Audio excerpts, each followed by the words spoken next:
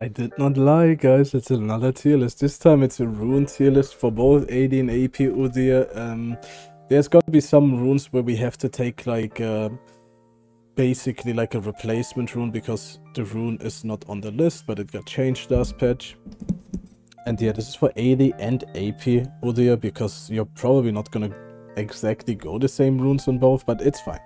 S tier, basically you can rock every game. A tier, decently strong. B tier, okay. C tier, not okay. And then the last tier is just basically bad. I'm just gonna rename this bad, guys. We we do things very simply here, okay? We don't do all this fucking crazy seven word in a tier list type shit. We just do one word or a letter. Okay, PTA. S tier. For Tiger Udyr, PTA is S tier, it's essential and you can't go without it now. Conqueror is dead, Hail of Blades is a joke, and Phase Rush is a meme. Talking about Phase Rush, goodbye sir, this is probably the memeiest rune for Udyr. By the time you are in melee range with Phase Rush, right, you would be in approach velocity range, which approach velocity makes you sticky. If you want to disengage Udyr, you probably took a fight that is shit in the first place, and you probably did like a mistake. So Phase Rush is just overall a meme rune and you don't need it. We talked about approach velocity, in my opinion that's S tier, that shit is just crack on Udyr.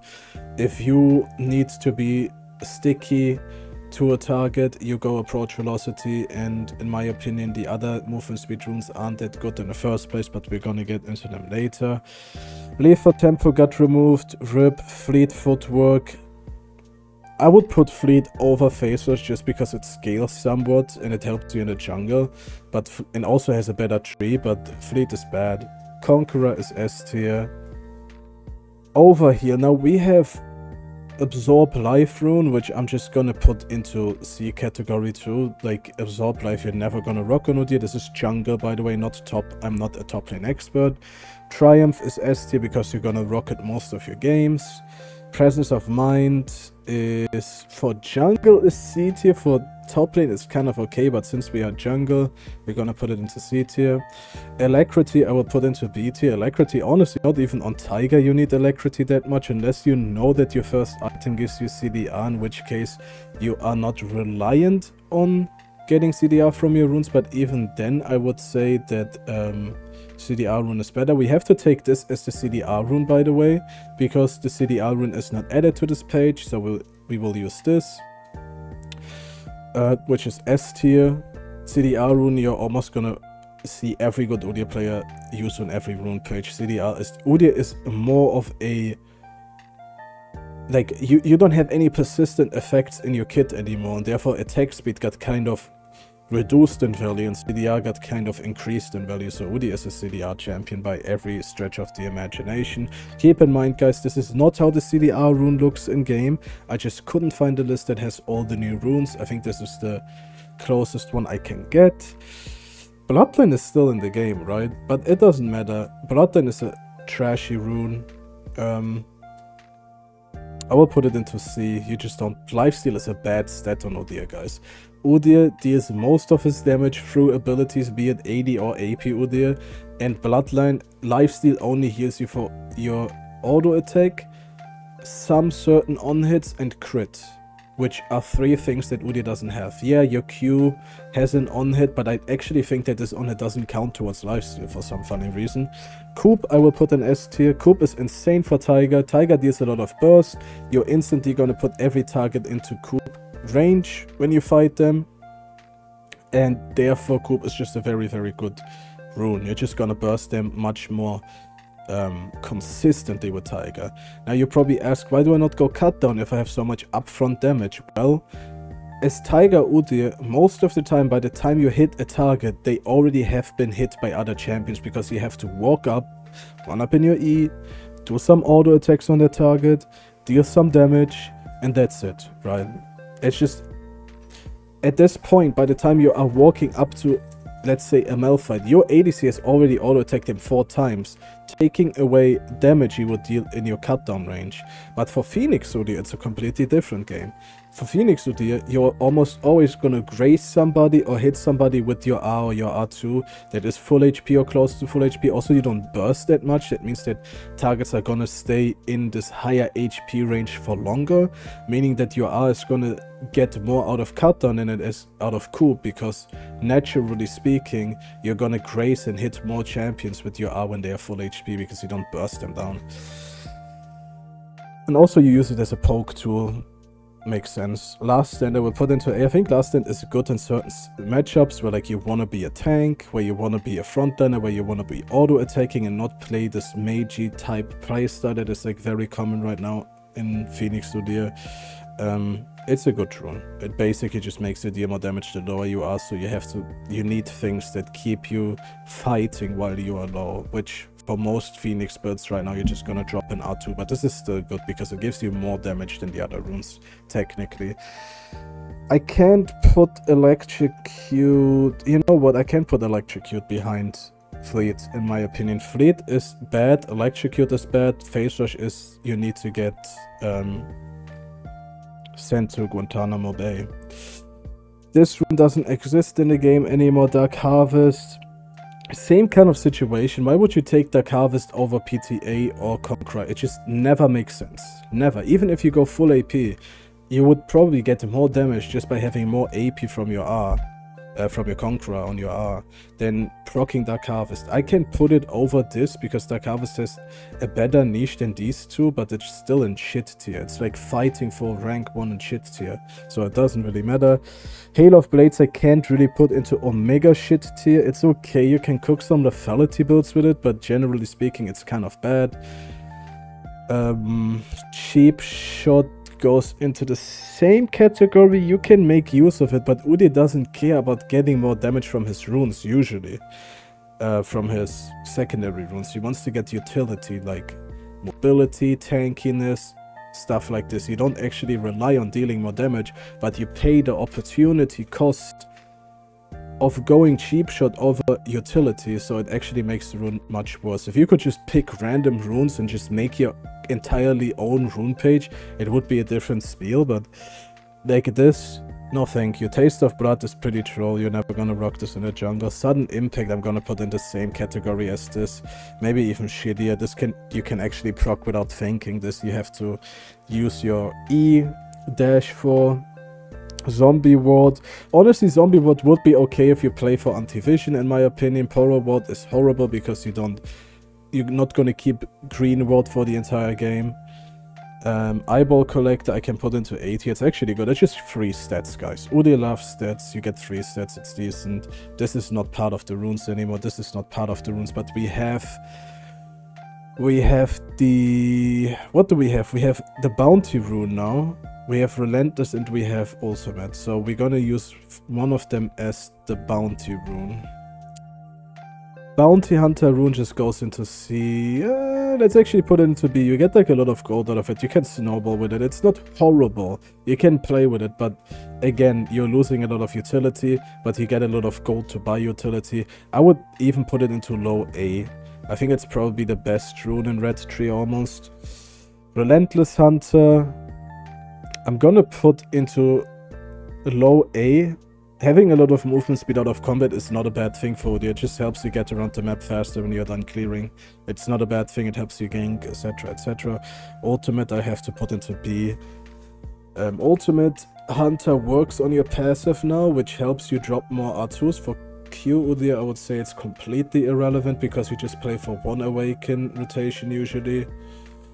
Because you burst people and yeah, Ultimate Hunter is not that great.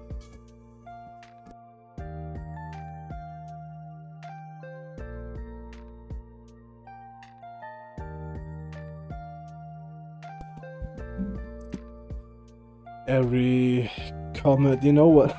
I can't put com like these runes are so shit down here that I can't put Comet in the same rune page as Phase Rush. But I have to because it's troll. Comet is bad, guys. It's again like one of these runes that make you deal more damage in a shittier way than the other good runes while giving you a shittier rune page. Nullifying Orb, pretty bad. Mana Flow Band, pretty bad. Nimbus Cloak is okay, but you will never use it. Celerity is fine. again, my my problem with celerity is that celerity works on bonus mobility, meaning your base mobility doesn't benefit that much from it other than the 1% you get from this rune. Meaning that you have to actively use your E in combat to be sticky, which makes it, in my opinion, much worse than approach. But I also can't put it that much lower than like something like Relentless Hunter because they fill a very similar niche. Transcendence I would put into B. It's okay. It's not great on Udyr. Um, absolute... this is absolute focus, right? I think so. Yeah, this is Scorch. I think Absolute Focus goes into C. At least he gets some stats from it, and Scorch goes into bad category. I don't even know if Scorch is still in the game, to be honest. Uh, but this rune is just completely mid, in my opinion. Water Walking. I will put Water Walking over Celerity. Now, if you could just take Water Walking Approach Velocity, that would be Boulder, or Approach Velocity and Celerity. But Water Walking is a very conditional rune, right? You only get it in a river, but a lot of fights that are important to Udyr happen in the river, so it's good. It's pretty, pretty good. Then we have Gathering Storm. I don't think he would ever play for this, but it's not as bad as something like Phase Rush because it's just basically three stats over the period of the game. There's like not much to it. Grasp for jungling goes into C. It's better than Phase Rush, to be honest, or these runes, because you can actually do something with Grasp in the jungle. It's just not great. I would almost say Aftershock goes into bad category, but I'm gonna put it into C. Phase Rush is just so much inferior to all these other runes that they just have to separate these two. Guardian goes into bad category though, Udyr's not a supportive champion at all. Demolish goes into C. If you play AD Udyr and you know that you can take grubs and take early towers, then you can actually generate a lot of gold, probably way more gold than um, the Bounty Hunter rune. But the biggest issue with it is that like you can't guarantee that your team can tilt very hard if you take their plates too, which is also like a fact that they're just gonna go AFK. Uh, Font of Life, honestly, I'm gonna put into bad category. Shield Bash, I'm gonna put into this category. You can use it, but you would never really swap it out for something that is like more useful like approach velocity or this. Like this is just not a great rune because of where it sits. If this would be in the inspiration tree and you can take um, approach velocity and shield bash maybe you would go it more often.